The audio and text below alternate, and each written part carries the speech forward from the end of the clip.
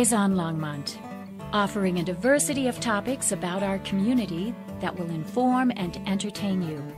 We invite you to sit back and enjoy this edition of Eyes on Longmont.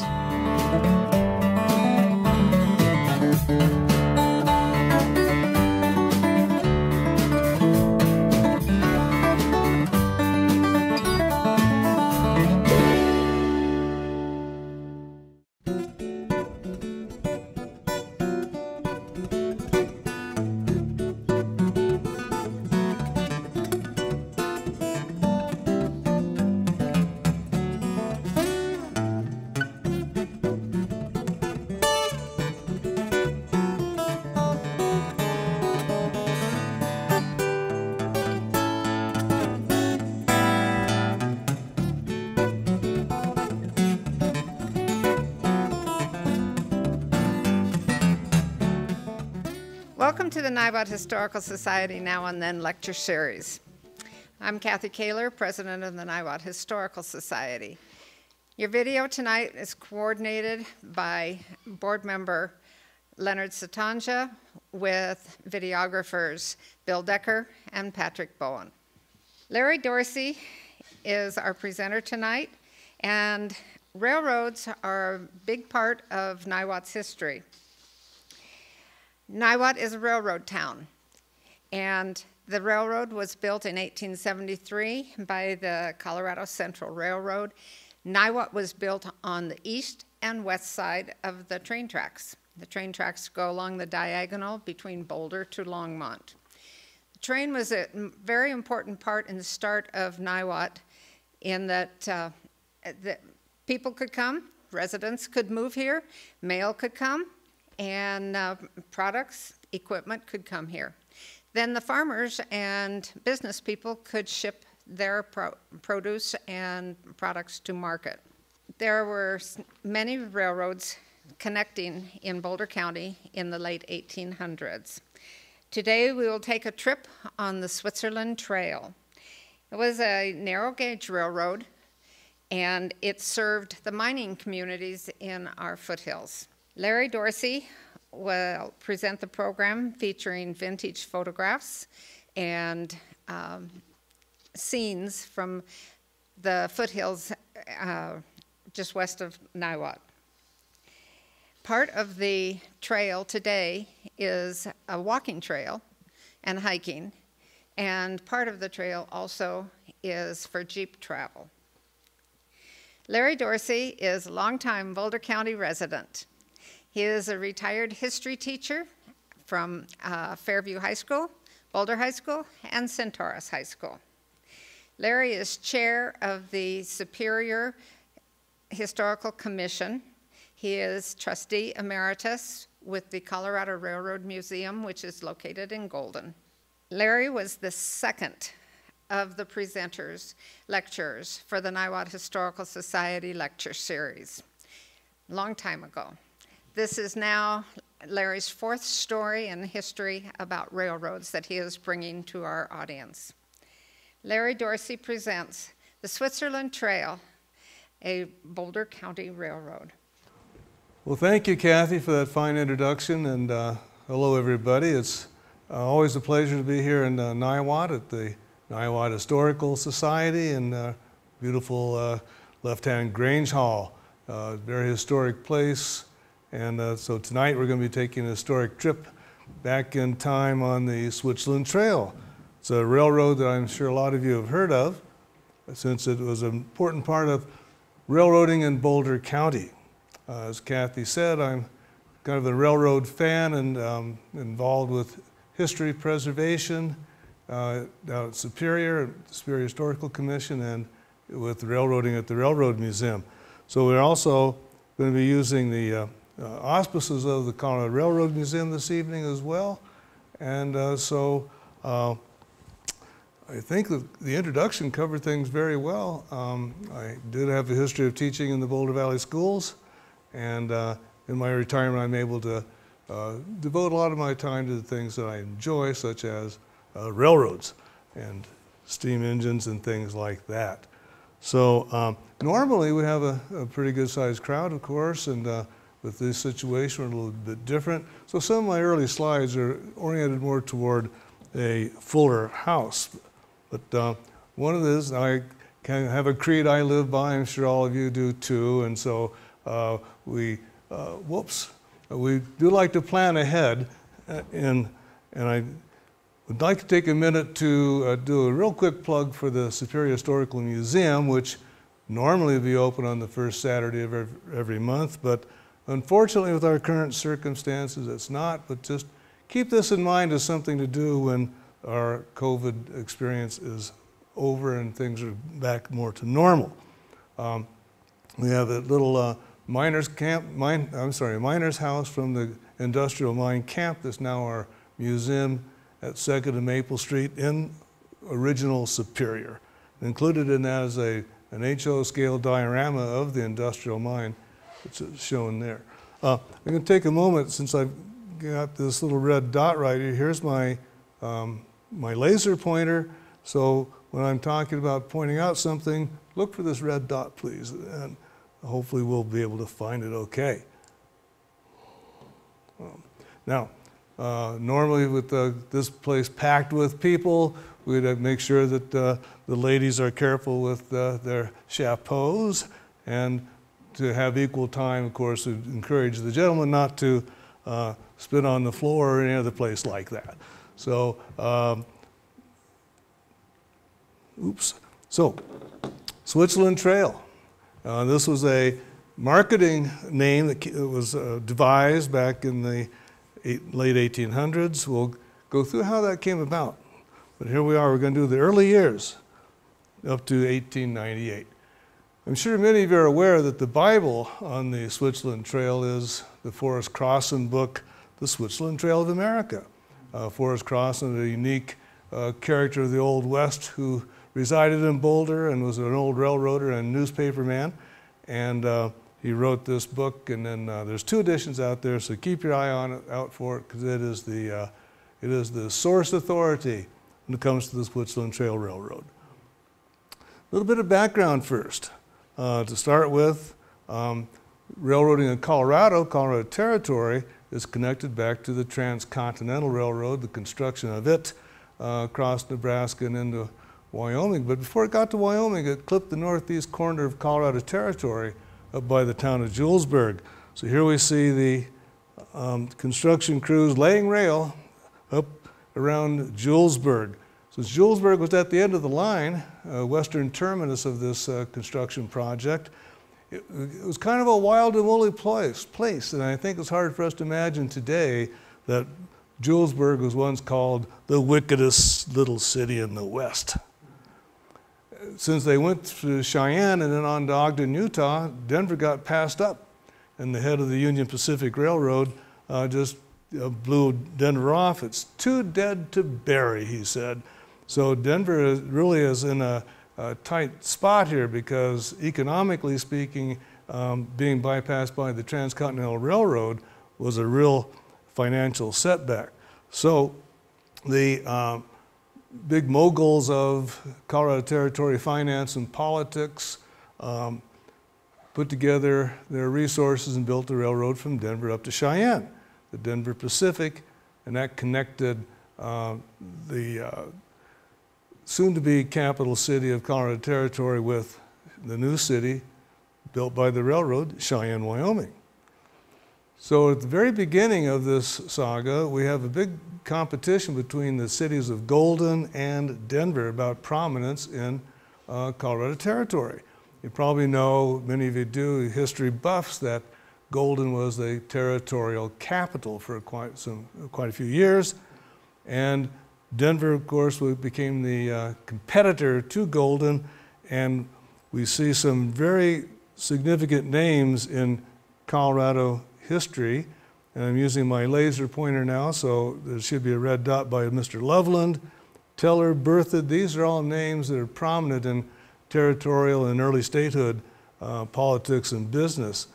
And so Denver, this is the Colorado Central Railroad that Kathy mentioned in the introduction, and the Union Pacific and all of its subsidiaries. Union Pacific was a classic um, octopus-like uh, corporation in that time period. It had its tentacles every place, and there are all sorts of railroads um, of different names that were connected or subsidiaries of Union Pacific.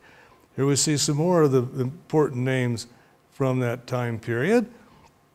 Uh, so the competition is on. And this map, so way down here, that red dot's close to the bottom of the map, there's Golden. So at one time, the railroad to Boulder came out of Golden and went up, kind of paralleled Indiana Street near Stanley Lake and then into Boulder. And in the meantime, there was another railroad that came straight across from Brighton to Erie and right up the uh, Boulder Creek.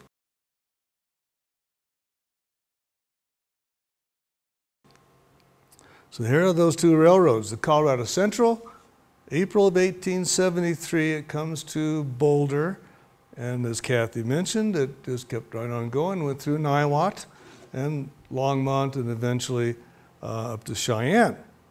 And then the other railroad is the Denver and Boulder Valley.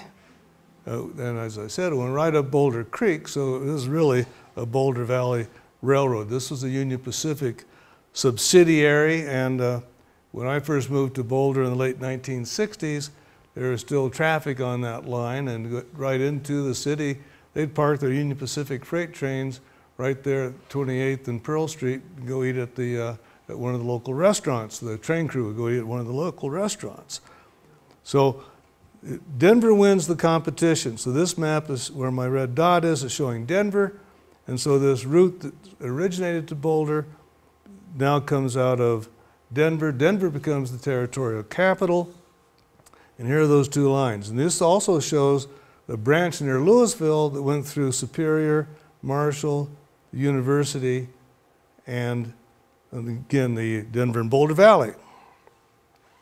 So one of these Union Pacific subsidiaries was the Union Pacific and Gulf. This is a very early photograph, maybe one of the earliest photographs of a train in Boulder. And that's uh, a line of stock cars there. And uh, notice the track is still unfinished, and there are three rails in this track, this dual gauge track. There's both standard and narrow gauge on the same roadbed. So Standard gauge is four feet eight and a half inches between the rails. Narrow is anything narrower, most common is three foot gauge as we call it. Uh, so what's going to happen is that the intercity, big intercity trains are going to be on standard gauge. Going into the mountains will be a narrow gauge because it's, uh, it's easier to construct, uh, less expensive, and it could make uh, tighter turns, tighter radiuses. Um, not as expensive to construct, and frankly, the standard gauges probably couldn't get through some of these canyons in Boulder County. I'm going to show you a map now of Boulder back um, late 1800, early 1900s. So here comes that line from Denver, and there's, takes that right turn up to Niwot. I'm sure all of you have been in this location where my cursor is right now because that's about 34th and Pearl Street, and that's where you get stopped by the train as it's going uh, from Denver to Cheyenne, and it takes a long time for 125 or 30 rail cars to go by. So there's that. That's about 30th and um, Pearl. That street right here is called Water Street. If I had a bunch of people here, I'd ask what that street is known as today. Maybe Kathy probably knows. Water Street is now known as Canyon Boulevard. Yeah, so the street that um, the street that's now a major east-west artery was once the railroad tracks with two um, lanes, one on each side of the tracks going different directions. Right there is where the uh, depot is, was, at 14th and uh, Water, now Canyon. And uh, so this is what, what the trackage looked like back then. Here comes the uh, Denver and Boulder, I'm sorry, the Boulder Valley Railroad coming up from Erie. And so here's a Y. So what happened is train would come from Denver, come that way, and then come down into the center of the city. And this map for modern people is a really, uh, there's a lot of information in this map. So here's, here's uh, 12th Street, now known as Broadway. And so all this area here to the west of Broadway, clear to about 4th Street, was all the rail yards. So this is full of all sorts of trackage, uh, the turning Y. This right here where the cursor is right now is probably about where the library, the new library built in the 1960s, is located. And the newer library is across the creek. And um, oh, so this is probably about the St. Julien Hotel. A little different now. Uh, it was an industrial area, the train yards, literally. Um, and about right in here would be the Justice Center. And right this where my cursor is now, that's the, that is the uh, engine house. So they had a, an engine house where they pulled maintenance on the locomotives. So quite a different scene along Canyon Boulevard today compared to what it might have been, say, in 1900. And here's that engine house. That's about 4th Street and uh, Canyon Boulevard. And up in the background, you see Settlers Park. And so here's a couple locomotives, two stalls. And so it wasn't a real big operation, but that's where they pulled maintenance on the locomotives, uh, the Switzerland Trail locomotives. One of the incidents that took place down in the uh, train yards in that location was a huge dynamite explosion. This shows the aftermath. Here's where the explosion took place, where my cursor is now. And what happened was a little labor uh, spat, shall we say. Um, we had some strikers and some strike breakers from the union, uh, the railroad union.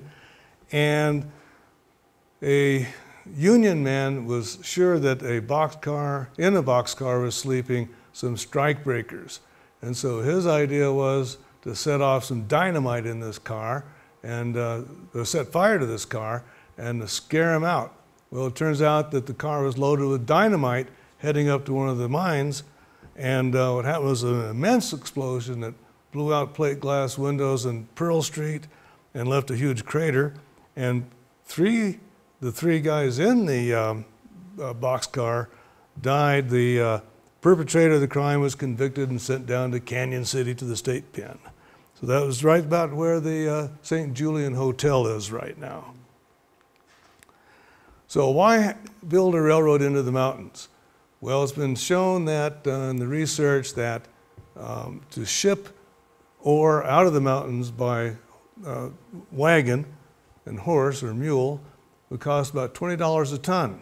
Ship it out by rail was about $1 a ton.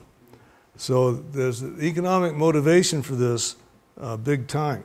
This shows going the other way. Instead of coming out, how about going in to the mountains? And we see here uh, what looks to be a, probably a steam boiler heading off to a mine or a mill, being pulled on a wagon by six horses. This is right in the city limits of Boulder. They're getting ready to go up into the hills. And uh, so you can see what it takes to um, transport something into those uh, horse horse and wagon days. Here's another one eight horses. And look at this, this road hardly can be con considered a real road. And here's this wagon with, again, what appears to be a steam boiler being taken up to a mine. So the alternative, here's a not very large, a narrow gauge uh, flat car. And uh, compare the, the load ability of this uh, railroad car to the wagons, and then imagine having uh, 10 or 12 or 20 uh, freight cars on the train. So that this is a motivation is much more efficient transportation, more profitable, of course, and uh, effective. So the, our railroad that goes into the mountains had three different names. The first uh, incarnation is called the Greeley, Salt Lake, and Pacific. It was kind of an interesting name since it didn't go to any of those places. Uh, it didn't start in Greeley or go to Salt Lake City, and certainly not to the Pacific Ocean. Um, and in fact, this, this incarnation here, it went 13 miles into the mountains to the town of Sunset up in Four Mile Canyon. So it had a long way to go yet to get to the uh, uh, Pacific Ocean. Um, then we had it recapitalized and became known as the Colorado and Northwestern. So you see a lot of CNW uh, stamps on, let's say, railroad equipment like uh, switch keys or something. In this case, it's not the Chicago and Northwestern, it's the uh, Colorado and Northwestern. And this is when to come up with the Switzerland Trail moniker. And then later, uh, another one more try at recapitalizing. It became known as the Denver, Boulder, and Western. Now the old timers like to make up these funny names with the initials. So D, B, and W. So what stands for drink beer and wine. And uh, the, the, another one was the CNS. They called that the CNS was the crooked and slow, or the DNRG was the dirty and rather greasy. So uh, this was a real common thing that old timers like to do with uh, the acronyms. So the Greeley, Salt Lake, and Pacific laid its tracks uh, in the Boulder in the yards and then up Four Mile Canyon, arriving at sunset in 1883. So the uh, we're tapping into all the all the mines and mills of Boulder County.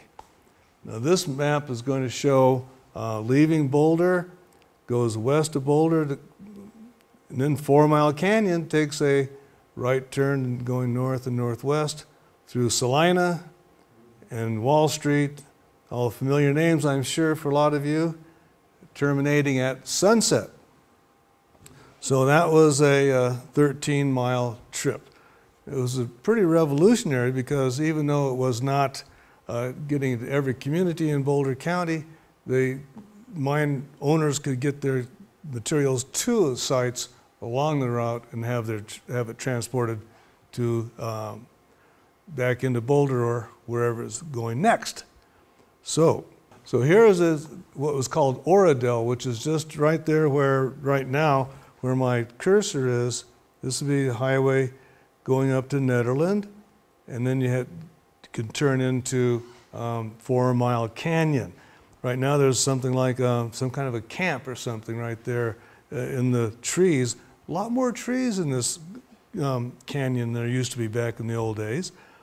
Um, if we were, had our usual crew here, I'd be warning you right now that there's going to be a test. And so on this material, I don't think I mentioned earlier. And so here's the first clue about the upcoming test. How many bridges were between 4th Street and Sunset? Keep that in mind. I took a little drive up Four Mile Canyon, oh, six, eight weeks ago to kind of see how things had changed since I was there last. And huge changes, um, a lot more homes, and then what I noticed really was how many more trees there were along the creek, especially. Um, and it seemed a lot more overgrown than it did when I used to drive up there frequently. So here's the little town of Sunset. And uh, so here you have a Y here, so that's enabled them to turn the engine or turn the train to change directions because this photograph was taken after um, the other two lines were built, so it's a little bit misleading. Uh, this line goes off to uh, Eldora and this line goes off to uh, Ward. It wasn't there in 1883. Okay, so imagine it's not there now. Um, so this is where they went first. And here we see an eastbound train heading back down to Boulder. They turned that on the Y. They had a little depot there inside the Y. And um, this was a very typical passenger setup, a combination baggage and passenger car and a conventional passenger coach. Here's the depot at Salina. By the way, you may be seeing this watermark on a lot of these photographs, these are from uh, Carnegie Library, and by using them with the uh, watermark, uh, you don't have to pay to use them. So there they are. Uh, boy, I wonder if there's ever any problem with flooding in Four Mile Canyon around Salina. Look how close this depot is to the Four Mile Creek. And uh, we know, especially in 2013, we know how serious the flood was in Salina. So here's the little Salina Depot uh, tucked away in this canyon. Here's another view of it. Um, When I first originated this uh, slideshow, I did a tag team with Silvia Pettem, and we did it at uh, Gold Hill Historical Society. So I got a little bit of emphasis on Gold Hill here for a couple of minutes. Because you know, if, hopefully you've been to Salina and been up Four Mile Canyon, um, know what that's looked like now. Here's a really important uh, old timetable. For one thing, I love this map because it's, it's almost like somebody dropped some spaghetti on this uh, um, piece of paper or something. Uh, it's way out of, uh, uh, out of scale. You have about a half an inch to go from Denver to Boulder, and then you have all this other space for the shorter version, shorter distances up in the mountains. But there was the railroad, the Switzerland Trail, never went to Gold Hill itself.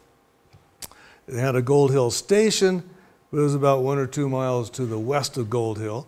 So this shows the connection. They had to take the stagecoach. If you want to go to Gold Hill and you want to take, take the train, you had to ride the stagecoach from Salina to Gold Hill, which a lot of you know if you've been there, that's a pretty steep grade up out of Salina to Gold Hill.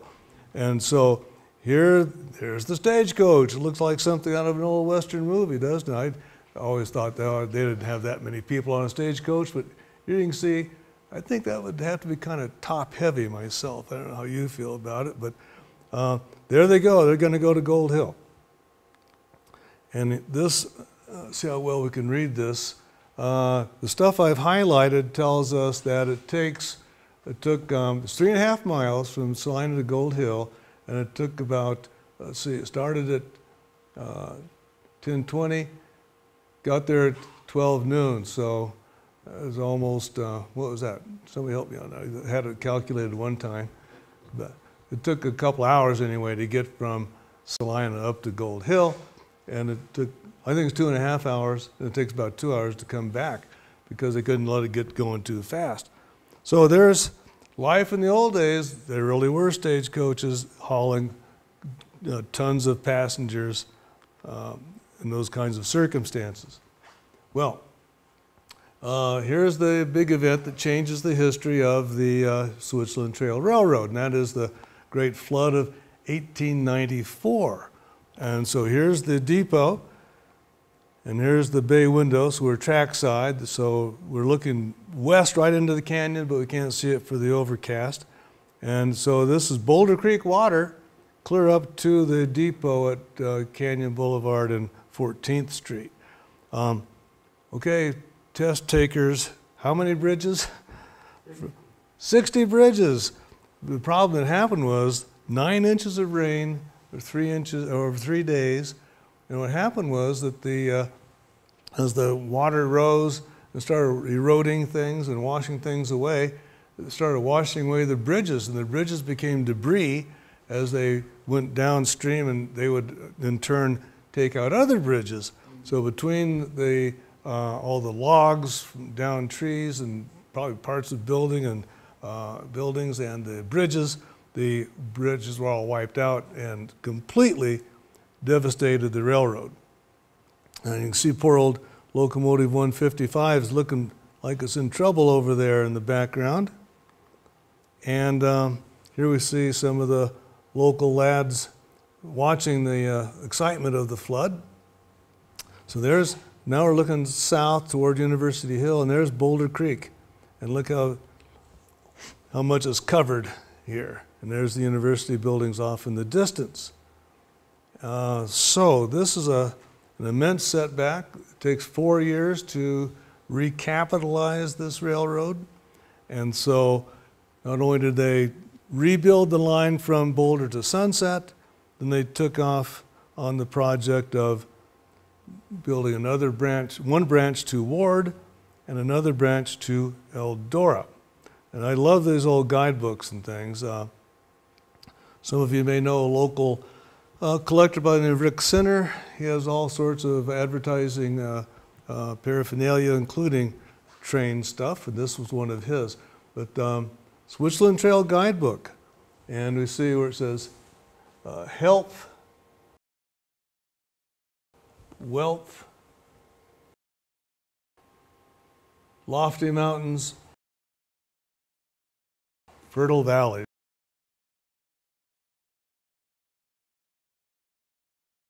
So this was a little guidebook that the passenger could take along with them and point out things along the route.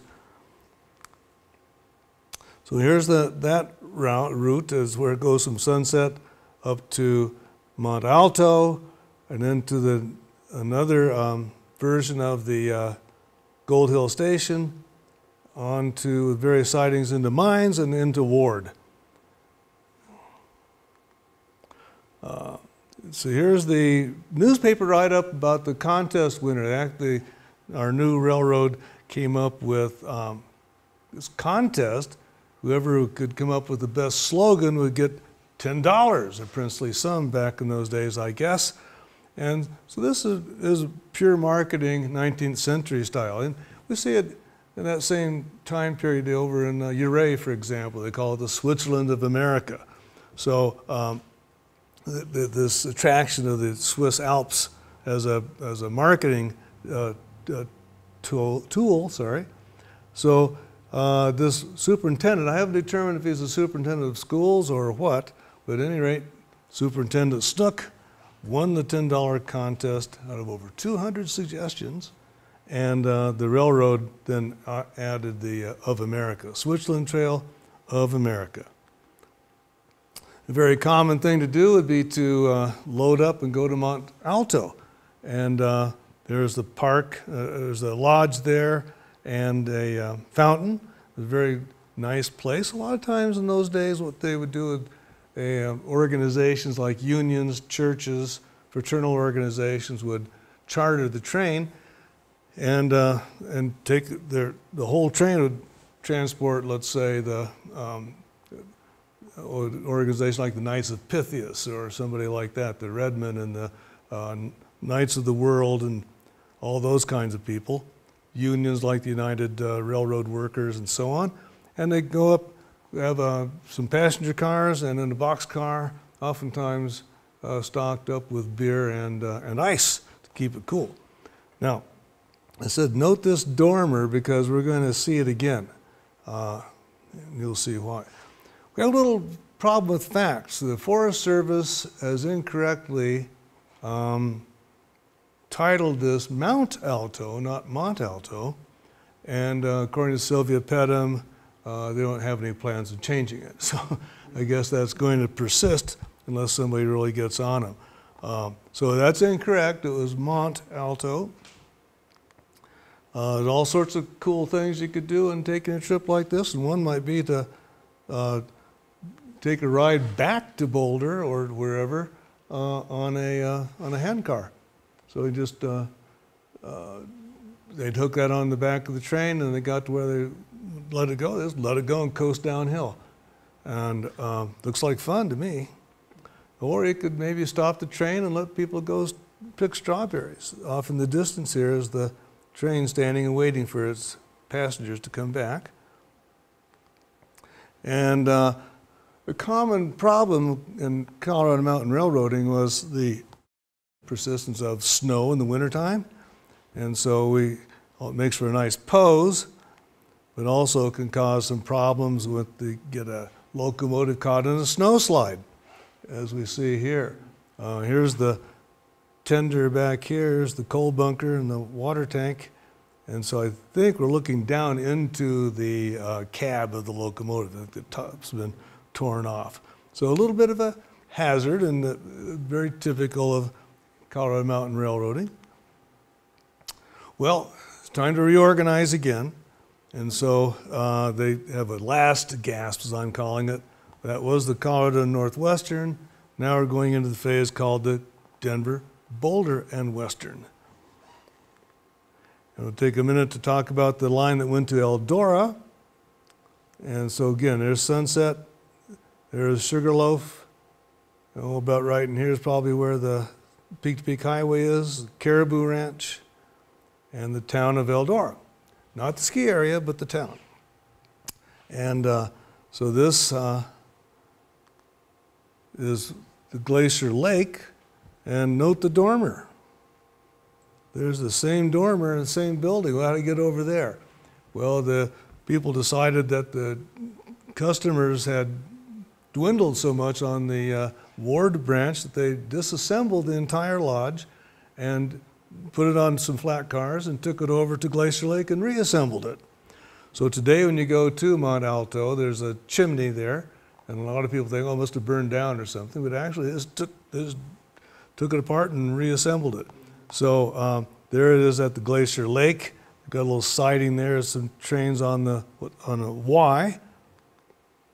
And I love this picture. Kids frolicking at Glacier Lake, and on the back of this photo it said uh, July July 4th, 1904. On this route to Eldora was a stop called Cardinal.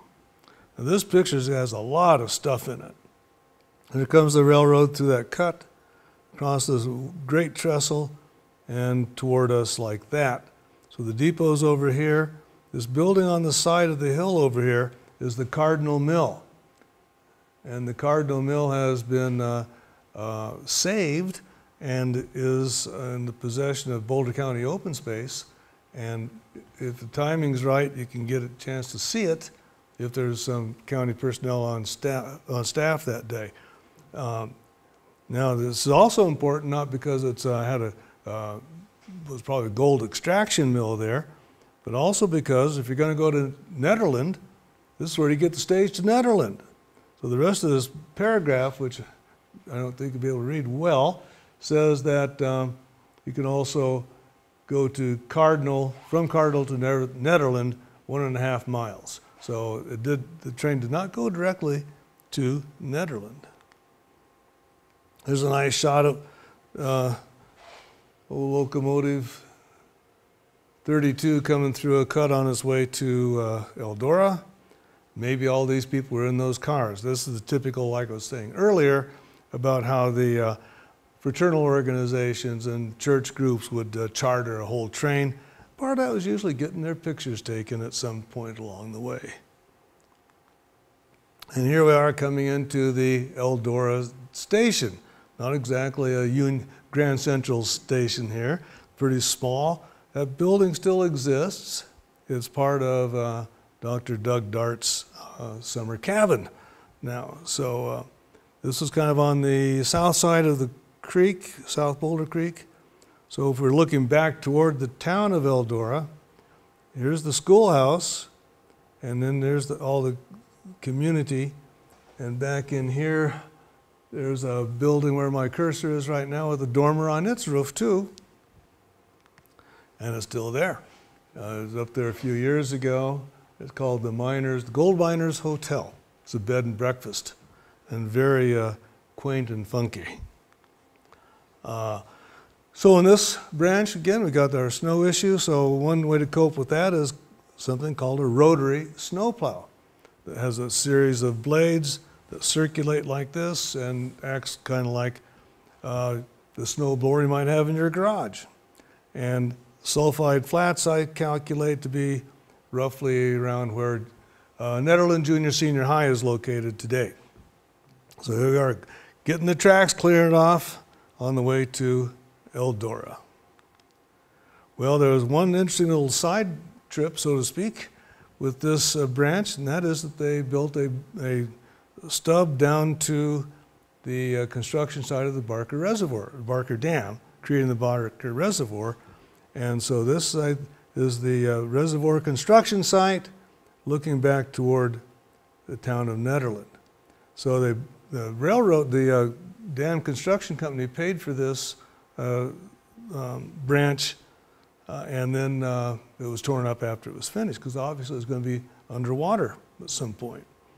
Okay, so this is 1909. We're on our way to 1920. Little interlude with something called World War I. And at the same time as a development of Americans' uh, fascination with vehicles with rubber tires on them and engines. And here's a little variation on uh, that kind of an automobile called a Stanley Steamer. And his, this picture is taken in Boulder. And uh, so tourists could now go up the new road to Nederland, uh, up Boulder Canyon, bypassing the Four Mile Canyon route, and go to Nederland. Why go to Nederland? So they can keep on going to Estes Park because the same Mr. Stanley also constructed that marvelous hotel in Estes Park. So Boulder, Lyons, Longmont, Loveland, Fort Collins all had stations where people could take the Stanley Steamer automobile up their very respective canyons, eventually getting to Estes Park uh, to the Stanley Hotel. Well, this didn't help the railroad any, did it? Furthermore, with the highway, well, a, a navigable automobile road up Boulder Canyon, this means that more and more people are going to be using their personal cars and the trucks to haul out the ore.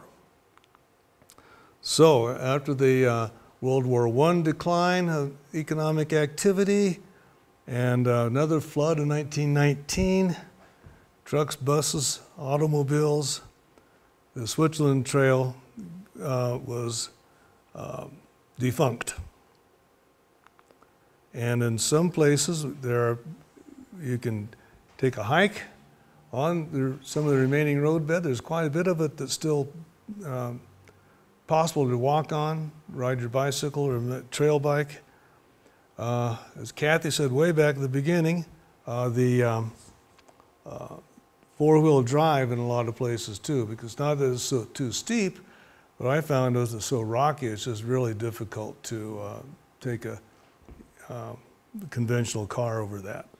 So enjoy it on foot or bicycle or um, yeah, Leonard informed me about a very interesting uh, uh, anniversary happening about right now. So, uh, day before yesterday, I was uh, hiking up at the uh, Caribou Open Space, Boulder County, and uh, there's an educational sign up there that tells about how tomorrow, October 1st, 2020, is going to be the 100 year anniversary of the removal of the last rail of the Switzerland Trail. It's a quite a significant uh, day, and I wanted to ask you, Larry, if um, there are so many rails that went up in these seemingly serving small towns, um, do you think there will ever be rail again, um, serving any of the like Nederland or any touristy uh, narrow gauge uh, rails? Well, I doubt it, Leonard. Um, I think uh, what we'll see with tourist railroads will be utilizing the ones, the lines that are already in effect, so, or roadbeds that are un, untampered with. But uh, I think overall, uh, it's all automobiles anymore. So, yeah. And thanks for that uh, um, personal insight on that because uh, the, the scrapping of this railroad, like many railroads, is a big deal. They had a, a company out of Denver that specialized in it, pulled up the rails and either resold the rails or sent them off to the, be melted down. And same with the locomotives and things like that. A lot of the locomotives are resold and used by other railroads, but uh, uh, major scrapping project for sure. And again, in the spirit of reusing materials, here we have a picture of the Boulder County Courthouse. You're probably wondering, why is that in the slideshow on the Switzerland Trail? Well, the original courthouse burned down, I think it was 1932, and had to be rebuilt, of course, and so this is Depression days by that time, and so a great proportion of the stones used in the construction of this building were made from the old bridge abutments from the Switzerland Trail. So they went up into the canyons, uh, took the blocks, brought them down to the yard, the courtyard, and um, they had a big saw, uh, uh, stone cutting operation there, and they cut them to size, and that became part of the building materials for the new Boulder County Courthouse. I'm going to spend a few minutes on Switzerland Trail locomotives, and I have a goal behind this because a lot of you are probably pretty familiar with one particular Switzerland Trail locomotive. So a rod engine is one like this, where the push rods are on the outside and they push back and forth, and that makes the wheels go around. Uh, this is a great painting by Howard Fogg, who was a very famous um, local Boulderite um, uh, artist who whose work showed up all around the world. But the rod engine has a maximum. A 2% grade is, is, a fairly steep grade in railroading. Uh, railroaders would be happy if they could have a completely straight line with no curves, uh, quite level.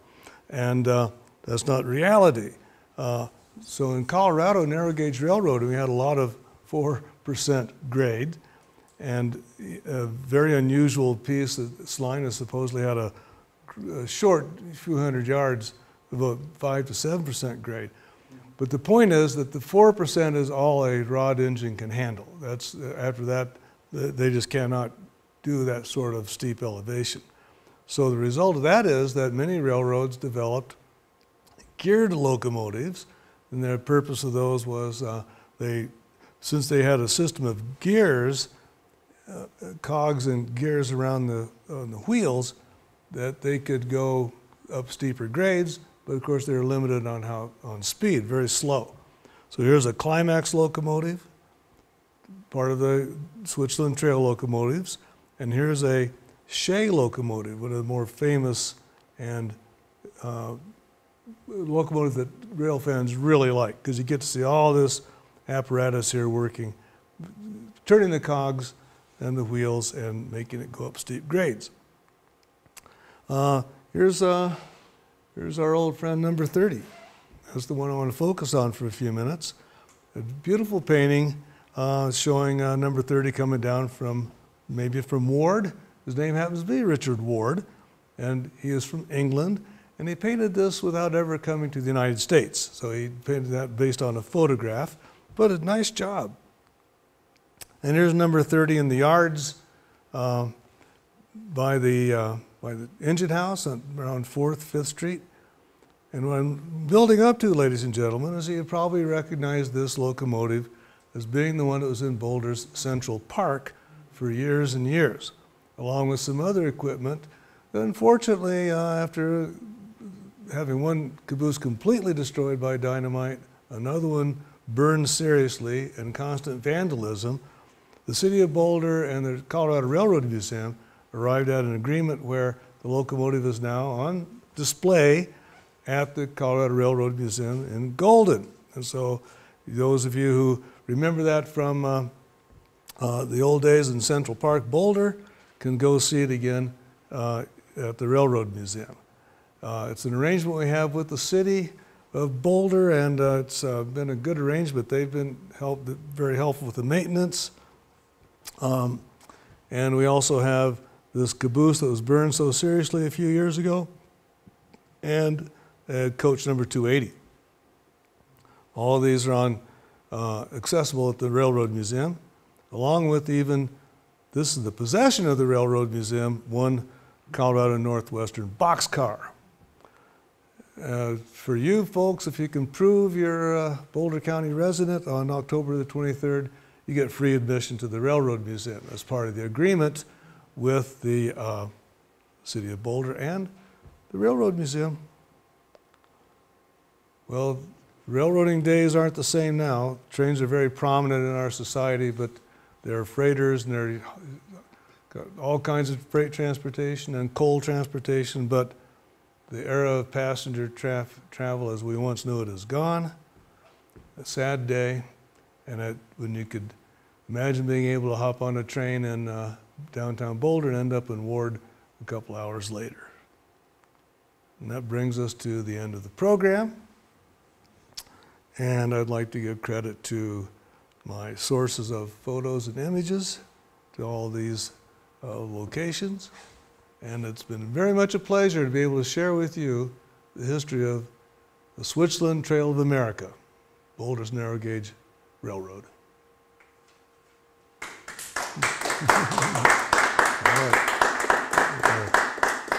Thunderous applause there. All right. Any questions? Any questions?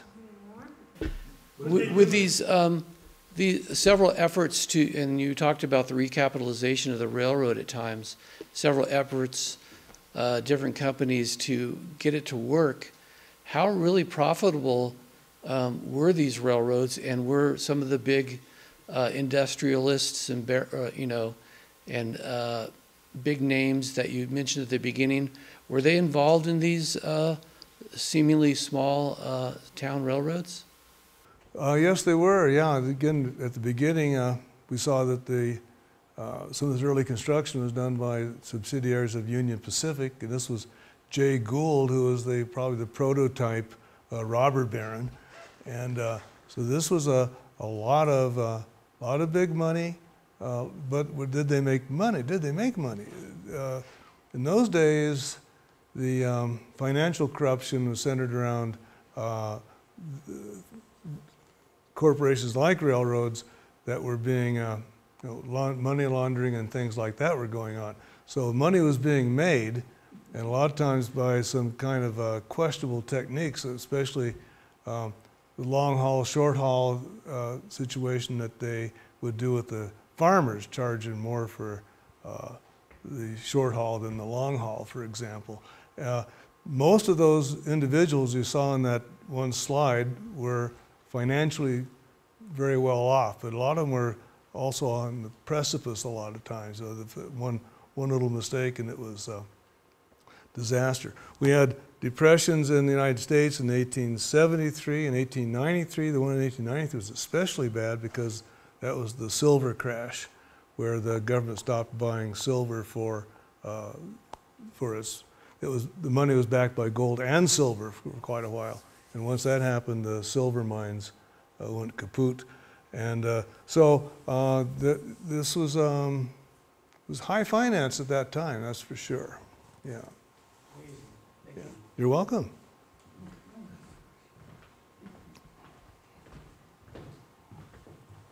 How much steam pressure is typically in these uh, older uh, steam locomotives? Uh, if I'm not mistaken, it's around 180 pounds per square inch. Um, the, the system uh, holds a lot of steam, and uh, um,